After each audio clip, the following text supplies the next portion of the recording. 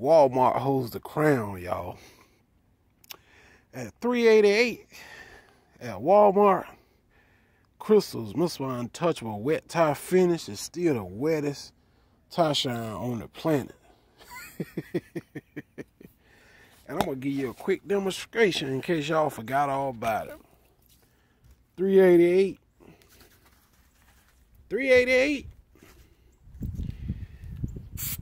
Give y'all a little sample. I think y'all forgot all about it, right? Still hold the crown for the wettest tie shine on the planet.